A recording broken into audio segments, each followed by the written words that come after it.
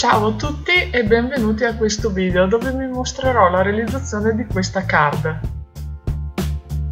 La base della card è un cartoncino che chiuso misura 5 pollici e mezzo x 4 e un quarto.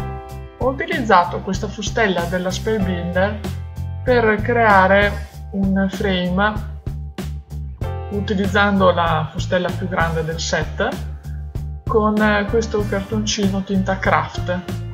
Poi ho preso la fustella quella leggermente più piccola e ho utilizzato questa pagina di dizionario per creare un'altra frame con una texture di fondo.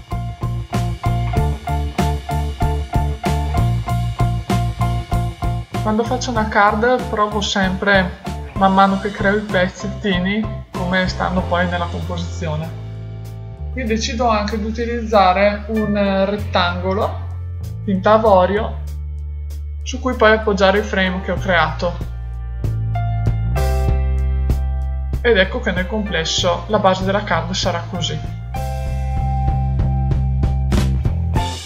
Poi prendo del pizzo marrone lo appoggio sul, sulla card e studio la composizione e taglio una fettuccina della lunghezza giusta che poi andrò a fissare sul retro del cartoncino avorio utilizzando del nastro biadesivo resistente.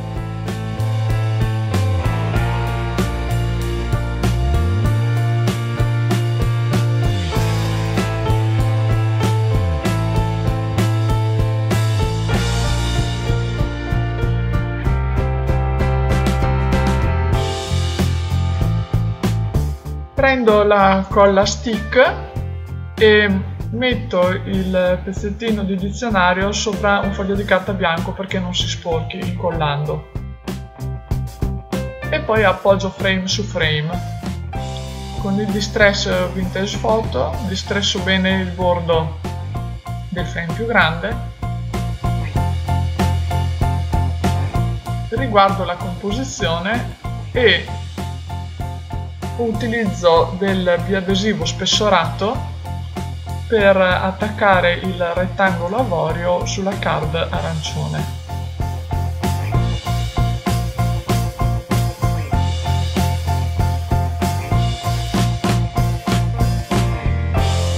Utilizzo invece del biadesivo normale, sottile, per attaccare il frame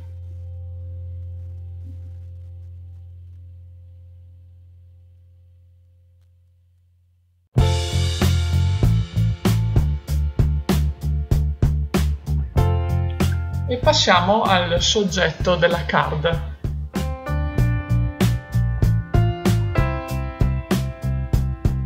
Su un foglio di carta cartoncino bianco timbro questo pulcino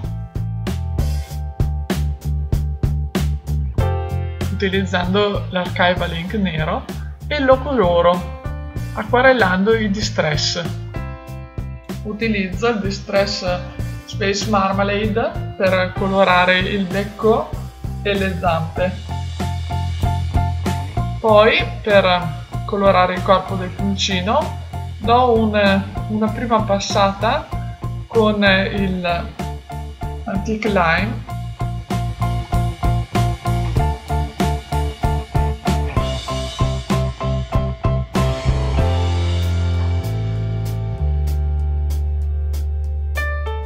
e do una seconda colorazione con lo Scattered Straw. Sono i due colori gialli più tenui della Distress. Pulisco il tavolo con l'acqua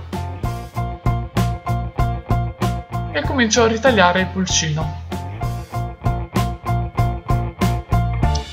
Utilizzo di nuovo il biadesivo spessorato per attaccare il pulcino alla card e dare di, della tridimensionalità a tutto il lavoro. Comincio a preparare gli abbellimenti. Ho scelto dei, dei fiori e utilizzo questa fustella della Sizzix decido di fare eh, un fiore un po' particolare utilizzando anche del vellum eh, sullo strato più basso del fiore.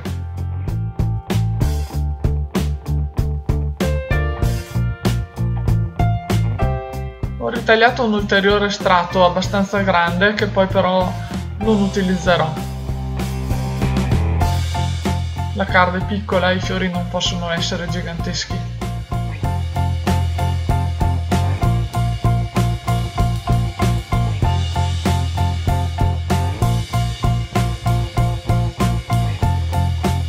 Una volta ritagliate tutte le parti del fiore, ripongo la Big Shot e prendo un tappettino morbido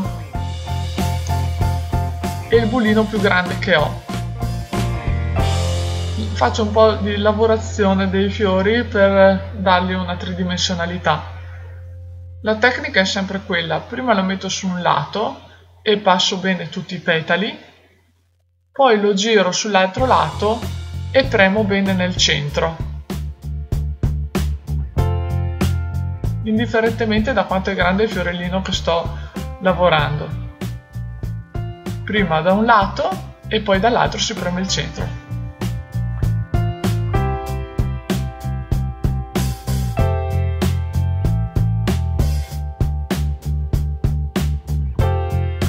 Sono soddisfatta anche del risultato sul vellum.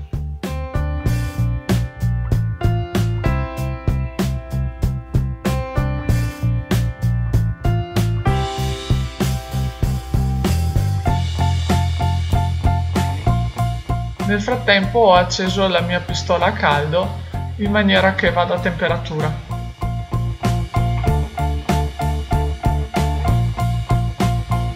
Inizio ad assemblare i fiori mettendo prima il vellum trasparente, poi il fiore di media misura arancione ed infine il fiorellino marrone.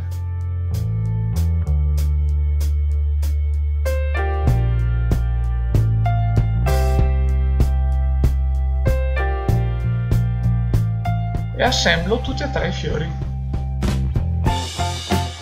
Quando incollo con il bulino do un po' di pressione nel centro del fiore per fare in modo che tutto si attacchi bene e la forma tridimensionale eh, sia ben chiara.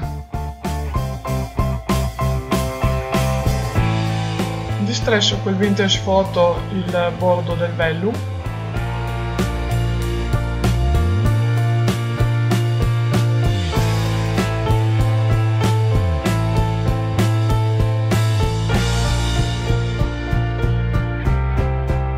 decido dove mettere i fiori e li attacco con la pistola a caldo.